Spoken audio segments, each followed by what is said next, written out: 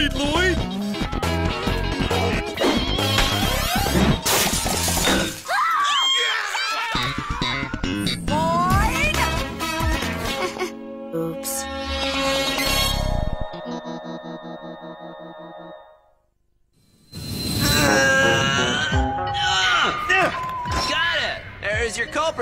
Culprit, Mr. Stinko. Oh, broken neutrino coupler. Can you fix it, Boomer? No problemo, Mr. S, sir. All I gotta do is seal this joint here back together. Little juicy dude gum. And presto! She's as good as new! oh man, I love my job! You know, guys, when I grow up, I'm gonna be just like Boomer. I hear you, buddy. That guy's got it made. Kicking back all day in the garage. She reads all the best comic books. And there's no problem in his life so big he can't fix it with a little piece of gum. Red alert! Red alert! Unidentified vehicles approaching! Red alert? Unidentified vehicles? Cool! What?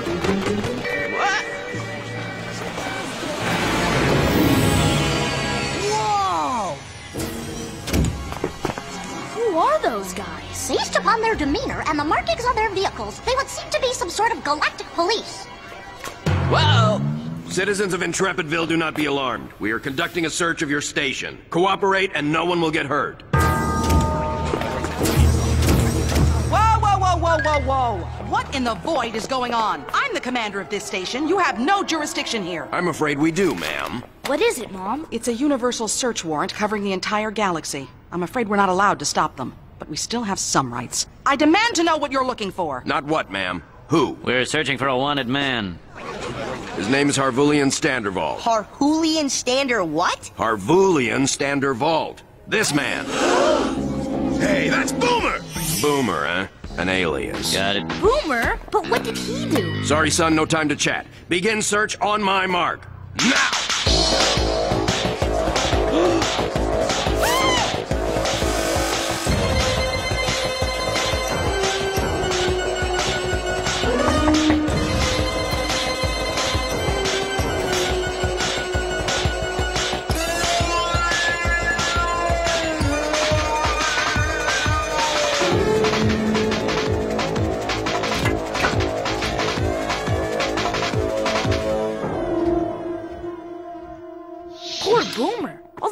guys chasing after him? What do you think he did anyway? Perhaps he robbed an interplanetary bank. Or killed a guy in a bar fight on Biker Planet 6. Boomer would never do something like that. Kurt's right. Boomer doesn't have a mean bone in his body. Well, what do you think they want him for then? I don't know, but whatever it is, we'll probably never find out. I'll bet Boomer is 60 million light years away by now. I mean, if I was Boomer, then I. Hey, Lloyd! Boomer? What are you doing in my closet? Uh, hiding? Lloyd, the search team is here. Oh, hello, Boomer. You're here too. I'll tell them at once. No, Station, don't! Boomer, you gotta get out of here! But where will he go? I know. If you guys can help me get to the garage, I can grab a vehicle and make good my escape. Wait a minute, man. First, I want to know what's going on. Why are you wanted anyway? Tell us it's all a terrible mistake. I can't, dudes, cause it's not. I didn't kill anybody or rob a bank like you guys were thinking, but it's bad. Real bad. Well, okay, but how are we going to get him out of here? I got a plan. Eddie, you and Kurt answer the door. Try to keep him busy as long as you can. Douglas, Boomer, come with me to my mom's room. There's no time to lose. Oh dear, this has been a most confusing day. I think I'm just going to go back into my hall. Open the door now. Oh, hello, officer. How can I help you this bright and sunny afternoon? Step aside, son. We're searching the premises. Searching the premises? But there's no reason to do that, sir. The only ones here are me and my trusty friend. That's me. Oh, yeah? Well, then who's back there? Um, uh, uh. Oh, hello, sir. You must be looking for that dangerous brigand. And you are? I'm Lloyd. This is my friend Douglas. And this is my sister. Hello! Sister, eh? The only sister I see here is a certain Francine. That's me, Francine Nebulon, attractive teen sibling of Lloyd Nebulon. Yeah, uh, come on, Francine. Let's go to the mall and do some fun teen stuff. Radio! Feel free to stay and search away, officer. Wait a minute. According to these records, Francine Nebulon is six years old. Run! Target on the run! Target on the run! He's heading down corridor six. Hurry, Boomer! I'm trying, but these high heels are murder!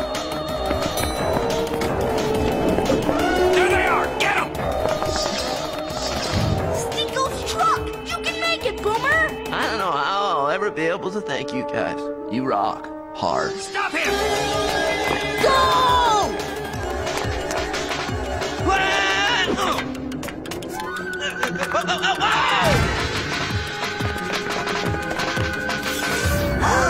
Harvulian Standervault, I hereby hold you in the name of the Kingdom of Pimpernelia. At last, we have found you. Your Highness. Your Highness? Yeah, they call me that because, well, my dad is sort of their king. You mean your Prince Boomer? Pretty much. Sire, your hoagie, as requested. Please inform me if there's too much mayonnaise. I'll have the chef banished. No, I'm sure it's copacetic. Thanks a lot, dude. Wow, Boomer, you're a prince! Who'd have thunk it? It is the most surprising turn of events. How come you never told us? Oh, I don't know. I guess it just sort of slipped my mind. But one thing doesn't make logical sense, Boomer. Why have your subjects been searching for you? After all, if you're their prince, shouldn't they know where you are? Yeah, well, that's sort of my fault. See, a few years ago, my pop sat me down and said, Son, someday you'll be the king of all you survey. I said, Whoa, that's intense. I mean, how can I be a good king if I never spent any time with the regular folk? So he let me spend two years away from home, you know, just hanging out, doing whatever I wanted and such and so on. But when the two years were up, well, I just didn't want to go back. Why not? It's kind of a long story. Blue alert! Blue alert! Another alien ship is approaching, only this one's gigantic!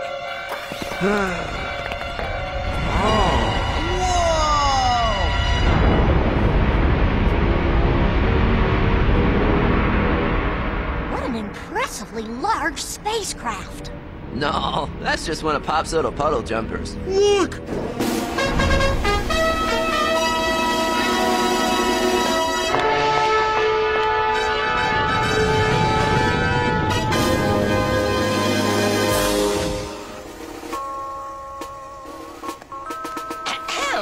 Hear ye, hear ye, citizens of Intrepidville. Prepare the way for his royal majesty, King Robustus the 15th of Pimpernella.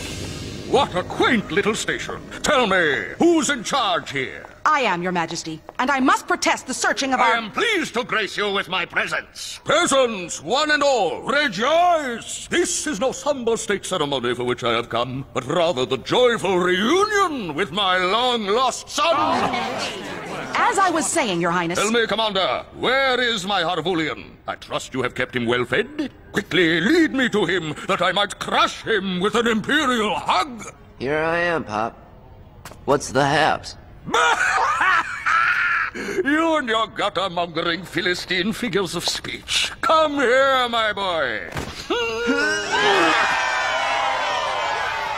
Harvulian, you're looking well. Rather clownish, dressed in these working rags, but we'll have you properly outfitted in no time. Sleeve knot! Yes, your highness. Alert the royal tailor upon our arrival. A silken tunic for the prince, and gilded pantaloons with the finest of diamond zippers. Wow! What have we here? A scrappy group of corridor urchins? Uh, Dad, these are my buds. Lloyd, Eddie, Douglas, Kurt. This is my dad, the king. Oh, Uh, hi. hey, your royal majesty. Friends, you say? How amusing. Let us away, Harvulian, to the royal mini yacht. Your mother cannot wait to see you. Meanwhile, I decree that your little friends will join us for a feast. You children would enjoy that, wouldn't you? Uh, sure, Your Of Highness. course you would. Sleevenot. See to it that children's things, uh, coloring books, ponies, whatever they desire, are made available to our guests upon our arrival. Can we go, Mom? Please? Well, if it's all right with everyone's parents. Yay! Come, Harvulian. We have much catching up to do. You have stayed out in the universe much longer than I ever expected. I am pleased that we are together again.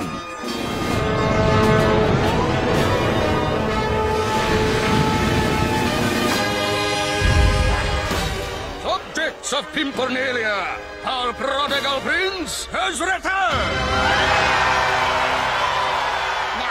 Now that's a welcoming committee. How Harvulian, my child, how happy I am that you're safe and sound. You were gone for so long. You must have lost track of the time. Um, yeah, I guess that's pretty much what. Uh, Now, now, Primulina, the boy's been through a lengthy galactic odyssey. He'll fill us in on the details later. Let us proceed to his chambers. I assume that your old room will suit you, Harvulian. We have kept it precisely as you left it.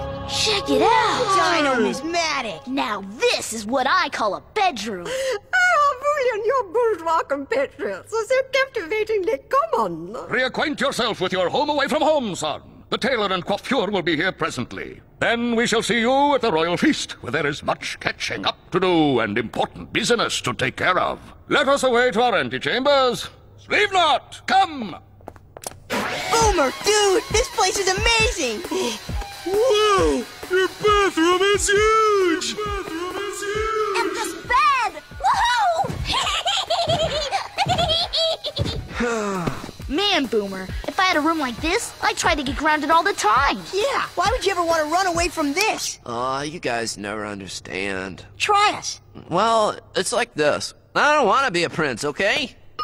But why not? Look, being a prince isn't just about having servants and fancy toys and back rubs whenever you want them. There's a lot of not fun stuff, too, like ribbon cutting ceremonies and baby kissing parties and ah, a bunch of other stuff. It's even worse. I'm sorry, Boomer, but so far nothing you've said outweighs the joy of that big, bouncy bed.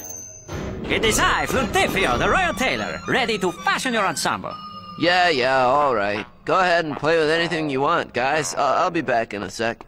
Jeez, can you believe that guy? Giving up all this so he can go slumming it on Intrepidville? It is pretty weird. I mean, look at this nutrition wall. You could get junk food from every corner of the universe. One big glorp, please. Well, perhaps we're missing something here. Perhaps there's something about being a prince that's truly awful. Like having to wear this goofy necklace. Hey, I'd wear anything if it meant living like this. Would you wear that? I'd have to think about it. Come on, we better get going. Pop always hates when I'm late to feast. The royal feast! I almost forgot!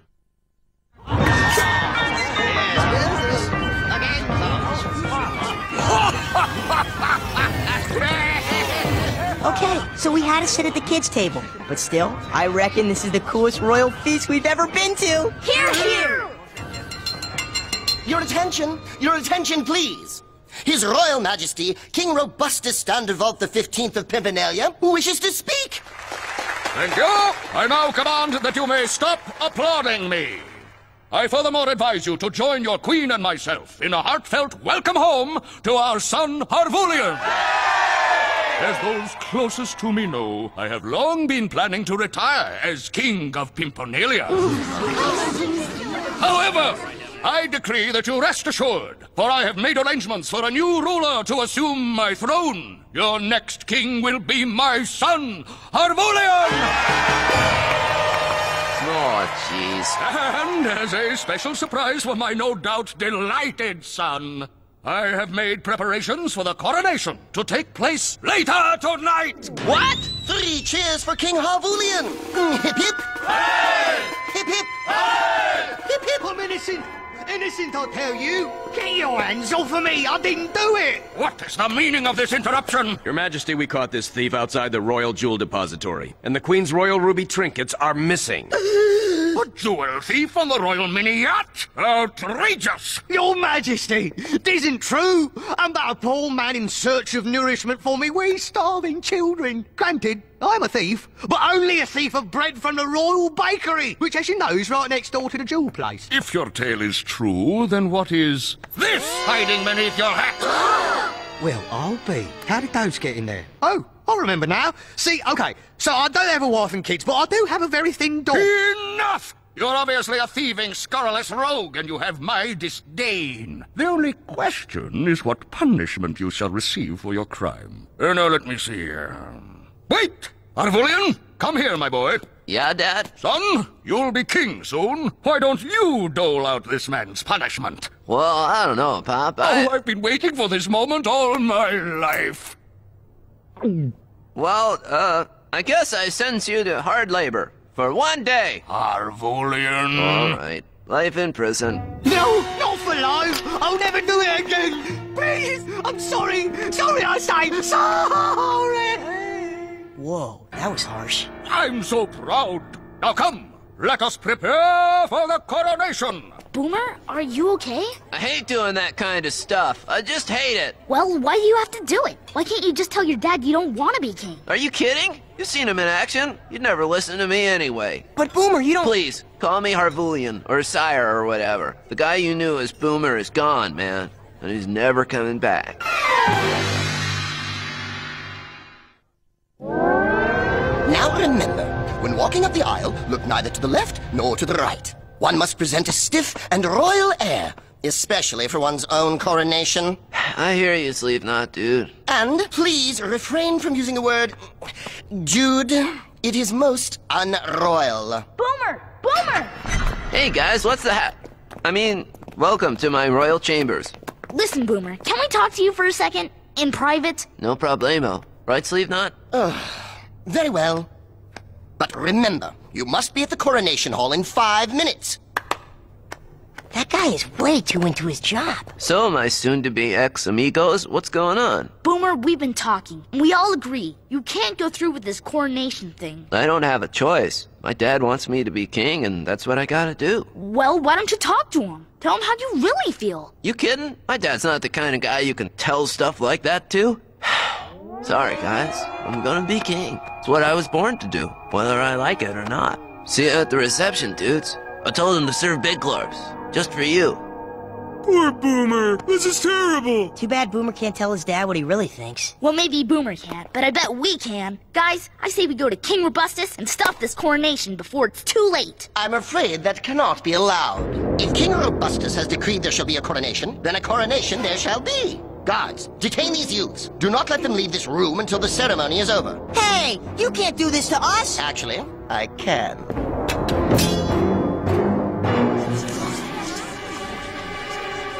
Oh, Harvulian, you look wonderful. I'm so proud. Hmm?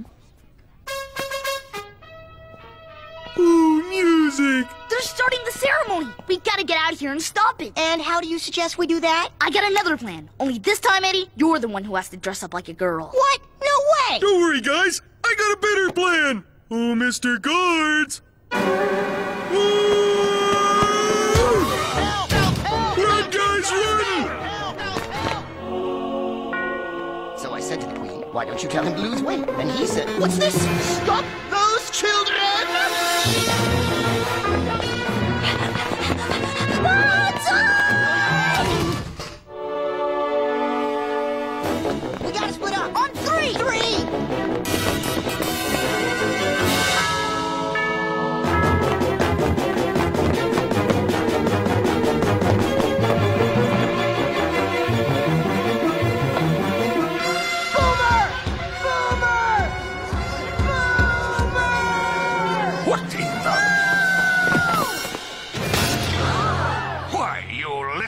gutter snipe! Dad. You destroyed the ceremonial crowning crown! Dad! You must be severely punished! Severely! Dad! Harvulian, you raised your voice to me. You've never done that before. Lloyd and Eddie are my friends. So what if they broke a stupid crowning crown? They were just trying to stop the ceremony. Stop the ceremony? But why? Because they know I don't want to be king. You don't want to be king? I see. Sorry, Boomer. I didn't mean to mess things up. Maybe if I could just talk to your dad for a second. he- No, Lloyd. I'm the one who's got to talk to him. For the first time in my 21 year old life, that's what I gotta do. I'm sorry, Pop. None of this makes sense, Harvulian. You always wanted to be king. Why, when you were a little boy, you used to crawl up into my throne. No, you used to pick me up and put me in your throne. I used to cry and want down. You always wanted me to be king. I just wanted to be a space station mechanic. A mechanic? But why? It's what makes me happy. I like fixing things and building junk and being with regular guys, not wearing fancy clothes and making life or death decisions for people. Oh, why didn't you ever tell me this before? I tried, but you wouldn't listen to me. I don't think that's true. I'm a very good listener. Then listen to this. I don't want to be king. Sorry if I disappointed you, Pop. But I gotta live my own life, not yours. How can a father be disappointed when his son stands up for himself and finally becomes a man? I'm proud of you, Boomer. Oh, Dad. Come here, you big king. They sure have been back there a long time. I hope Boomer's not in too much trouble. Trouble? Nonsense! Attention, subjects! There has been a slight change of plans. My son, Harvulian, has decided to follow a different path. His own. Therefore, he will not be crowned King of Pimpernelia. Instead, another prince will be crowned in his place. Harvulian's brother, Sleevenot! Me? King? Yes! That guy is Boomer's brother? Go figure. I'm the king! I'm the king! I'm the king! I'm the king! Oh, Daddy, I'm so happy! Yes, yes, that's enough. Oh, Harvulian, I don't know what to say. Hey, it's what you've always wanted. Congratulations, bro. All hail King Sleevenot! Now that's a king. It's good to have you back, Boomer.